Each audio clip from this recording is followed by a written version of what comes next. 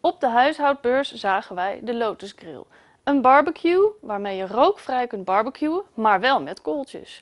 Nou, dat vonden wij wel interessant, dus we hebben hem besteld. En er zijn nog wat meer claims die hij maakt, zoals dat hij aan de buitenkant niet heet wordt. De temperatuur is makkelijk te regelen. Al met al dachten wij, nu het weer een beetje opknapt, tijd om hem uit te proberen. Nou, de grillplaat. Houder voor de houtskool. Hier gaat straks de brandgel in. De schaal kan in de vaatwasser. En batterijtjes.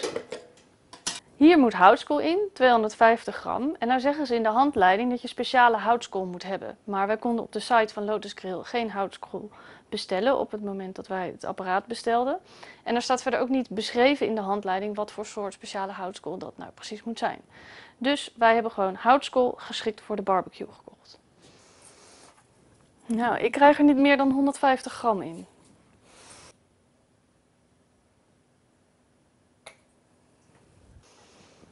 Die gaat hierin. En dan gaan de kolen erop. En je zet de ventilator open. Daarvoor heb je ook die batterijtjes nodig, want je kan hiermee regelen hoeveel lucht er doorstroomt en dus hoe warm je barbecue wordt en hoe snel je vlees gaar wordt.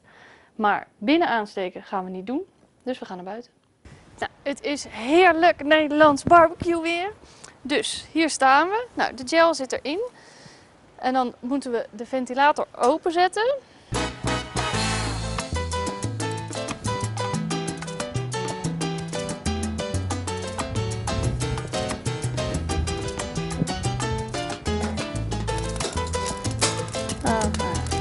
Zo. Na drie tot vier minuten is hij gebruiksklaar. Nou, hij is inmiddels goed warm. Dus we gooien er wat op. Eh, een stukje zalm.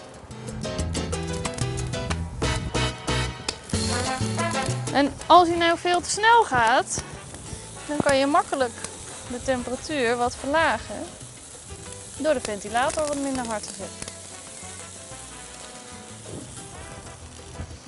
En dat rookvrije, dat zou ook komen doordat je uh, het vlees wat je op de barbecue hebt liggen, dat de sappen die eruit komen, normaal gesproken druppelen die op de houtskool en dat geeft zoveel rook. En hier ja, kan het er eigenlijk niet bij en wordt het opgevangen in die schaal.